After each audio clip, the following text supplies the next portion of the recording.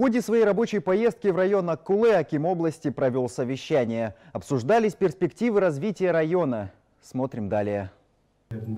Заслушав отчет Акима района Абзала Балгабаева, глава региона задал вопрос Акимам сельских округов. Какие задачи надо решать уже на 2024 год? Ведь бюджет формировать надо уже сейчас.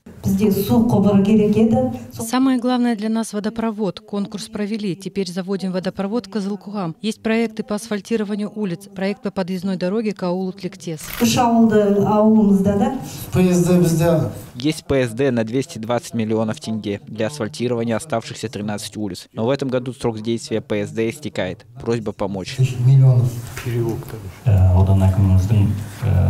миллионов. аудан әкіміміздің э, У нас один вопрос. Между селами Казантай и Малубай 13 километров грунтовой дороги. Она просела. Надо засыпать щебенкой. Проекта пока нет. мен малыбай екі ортасында В целом в районе реализован ряд проектов по программе «Аул Ельбесыга», а также по программе «Модернизация школ». Кроме того, в нескольких селах будут построены мини-футбольные поля. Асаин Байханов отметил, что в первую очередь необходимо определить и поэтапно решить самые необходимые вопросы, которые поднимает население. Евгения Мягченко, Мурат Абельмажет, Ертасакпарат.